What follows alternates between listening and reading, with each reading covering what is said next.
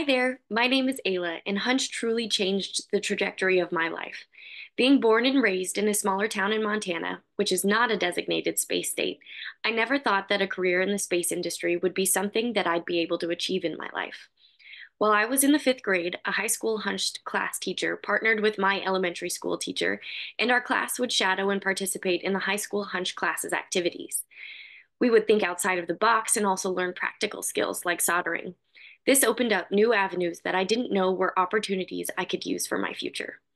I continued on with Hunch when I was in high school, learning to code, build, and create, all this adding to my desire to be in the STEM and STEAM fields when I got older.